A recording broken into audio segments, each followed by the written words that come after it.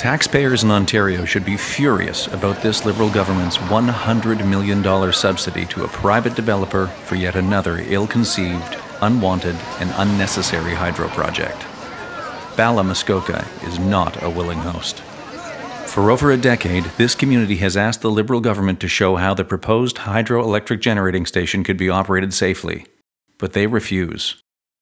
Premier Kathleen Wynne is well aware of this file, and now is the time to issue a stop work order and launch a formal investigation as to how her ministries have allowed this proposed project to proceed with changed and unapproved plans. The public deserves to know how and if the proposed project could be operated safely and in accordance to the original conditions.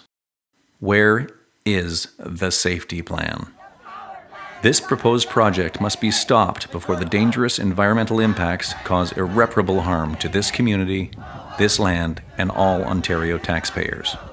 Kathleen Wynne, Bala is calling. It's time for you to answer.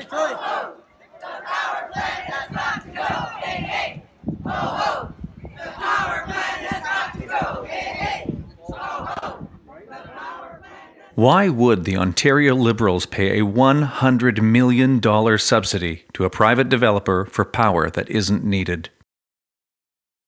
Why is there no safety plan, even though it would be unprecedented to build a generating station in the middle of a long time swimming area? Why has the Wynne government not realized they can cancel this dangerous and unnecessary project without cost or penalty? Kathleen Wynne, this project must immediately be paused to investigate why your ministries granted approvals despite a stained environmental assessment process. And why is the community's demand for a proven safety plan still being ignored?